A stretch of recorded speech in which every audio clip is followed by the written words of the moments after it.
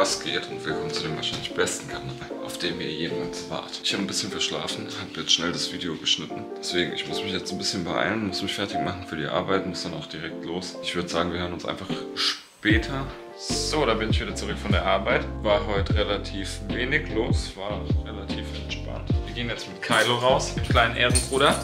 Ist cool. Hast du Bock? Cool.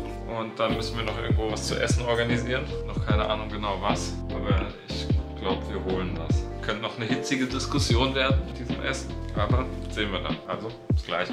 Moin, meine Kebabs. Heute ist nicht Dönerstag, aber wir haben trotzdem Döner gegönnt, weil ich Bock hatte. Ja, also fahren wir jetzt nach Hause, essen schönen Döner. Dann habe ich mir gedacht, erzähle ich euch ein bisschen was über mich und meine Person, damit ihr wisst, mit wem wir es mal zu tun haben. Ja, genau, so machen wir das. Also, bis gleich, Kebabs. So, Freunde, da bin ich wieder. Der Döner war köstlich. Ich habe mir hier ein paar Sachen rausgeschrieben und würde sagen, dann fangen wir einfach mal an. Das erste ist, mein Geburtstag ist der 20. Oktober 1989 und ich bin von Sternzeichen Waage. Der zweite Fakt, eine abgeschlossene Ausbildung oder Lehre habe ich keine. Mein höchster Schulabschluss ist der Hauptschulabschluss mit einem, soweit ich weiß, guten Schnitt. Auf jeden Fall habe ich damals die Schule abgebrochen und habe dann meinen Abschluss nachgeholt. So, ich muss kurz die Perspektive wechseln. Genau, ich fand damals Schule nicht so geil und bin dann erstmal von der Schule abgegangen ohne einen Abschluss und habe den dann, wie gesagt, nachgeholt. Der dritte Punkt, meine Hobbys und Leidenschaften. Also ich würde sagen, so YouTube-Videos zum Beispiel, deswegen mache ich ja. Äh, ich hätte auch Bock, Musik zu machen, bin aber leider zu blöd dafür. Also nicht vom musikalischen, eher so dieses Mixen in die Richtung. Ähm, ja, deswegen mache ich es nicht, aber vielleicht irgendwann. Meine Lieblingsfilme und Fernsehserien ist ein witziger Punkt. Habe ich nämlich alle so ziemlich hier auch tätowiert. Das ist einmal Star Wars. Gut, das ist einfach Musik. Das hier ist Herr der Ringe. Äh, und das ist von Harry Potter. Serien finde ich noch Sons of Anarchy ist eine krasse Serie gewesen. Also die habe ich schon sehr gefühlt. Der fünfte Punkt. Mein bevorzugtes Musikgenre. Ja, auch schwierig. schwierig.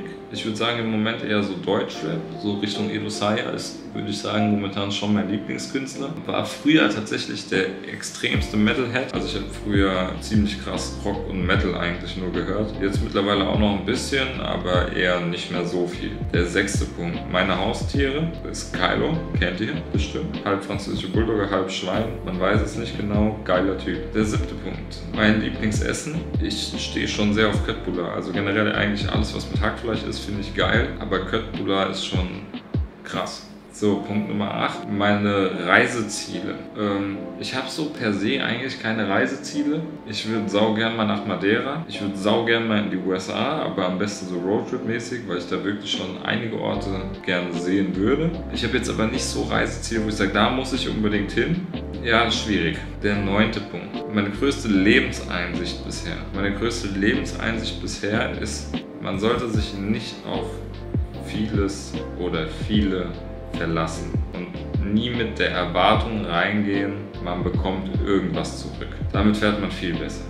Der zehnte Punkt. Die Sprachen, die ich spreche oder sprechen möchte, also ich spreche Deutsch muttersprachlich, ich spreche okay bis gut Englisch. Ich würde aber sau gern Spanisch lernen. Ich weiß auch, dass ich extrem gut und schnell Sprachen lernen kann. Ich habe nur einfach irgendwie noch nicht so die Motivation gefunden, aber ich würde sau gern Spanisch sprechen. Der elfte Punkt, meine größte Angst oder Phobie. Ich habe eine scheiße Angst vor Schlangen, wirklich. Wäre auch so das Einzige, was mir gerade einfällt. Aber Schlangen finde ich hart ekelhaft. Diese kleinen, kriechenden Hu. Punkt 12, meine Lieblingszitate oder Lebensmotto. Ich finde ein ziemlich geiles Zitat. Das habe ich öfter in meinem Kopf habe ich das erste Mal gehört von Cool Savage und er hat gesagt, der Sinn des Lebens ist dem Leben einen Sinn zu geben. Punkt 13. Meine ersten YouTube-Erfahrungen und Kanalgeschichte. Ich mache YouTube aktuell seit neun Tagen wieder aktiv. Ich habe seit 2014 oder 2015 unregelmäßig relativ viele Videos schon auf dem Kanal hier hochgeladen.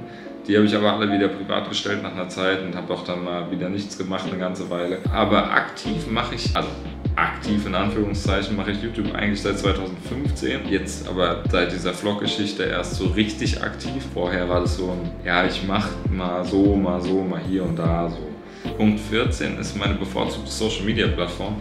Und das ist echt schwierig, weil ich finde schon so, die Main-Plattform ist schon YouTube. Ich würde sagen, dann bin ich eigentlich am meisten und am liebsten auf TikTok unterwegs, weil es so einfach ist und es ist so schnell und ich weiß nicht, den Algorithmus finde ich sehr gut. Also man kriegt sehr viel angezeigt von dem, was man geliked hat oder auch wirklich sehen will, das finde ich auf jeden Fall nice. Deswegen würde ich sagen, YouTube und TikTok schon so auf Platz 1. Punkt Nummer 15 ist mein persönlicher Stil oder meine Modevorlieben.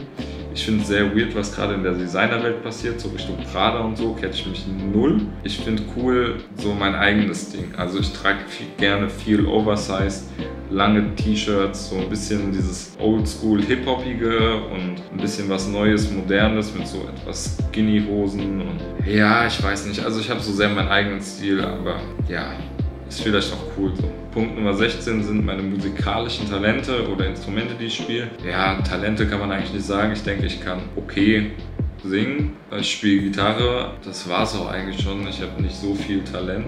Punkt Nummer 17 ist ähm, mein erster Job und meine Erfahrung damit. Mein erster richtiger Job war, glaube ich, als Verkäufer im New Yorker für Klamotten. Also vorher waren so ein paar Praktika, ich war schon in vielen Bereichen. Ich war im Handwerk, beim Sanitär- und Anlagentechniker, bei einem Schreiner, im Verkauf, also Kauf von einem Einzelhandel, im Baumarkt, in einem Hi-Fi-Studio für Anlagen und so. Ich habe in einem Club gearbeitet, in einem Café, in einem Hotel. Ich war selbstständig mit dem Hausmeister und Gartenservice. Also ich habe schon relativ viel gemacht, aber mein erster Job so richtig war, glaube ich, der als Verkäufer und ich fand es eigentlich ziemlich nice, muss ich sagen. Und die Arbeitszeiten waren einfach nicht geil, weil das war in einem Shoppingcenter, das hatte relativ lang auf und dann samstags abends bis halb elf oder so, da hatte ich damals keinen Bock. Aber an sich war es eigentlich cool. Punkt Nummer 18 ist meine Lieblingsjahreszeit und ich muss sagen, ich finde eigentlich am geilsten den Winter, wenn man sich einfach so dick anziehen kann, die Mütze bis hier über den Kopf ziehen kann. Ja, weiß ich nicht, finde ich schon am geilsten. Doch ich mag es auch eher kalt, ich bin auch eher so ein Kaltduscher. Punkt Nummer 19 ist meine größten Träume und Ziele.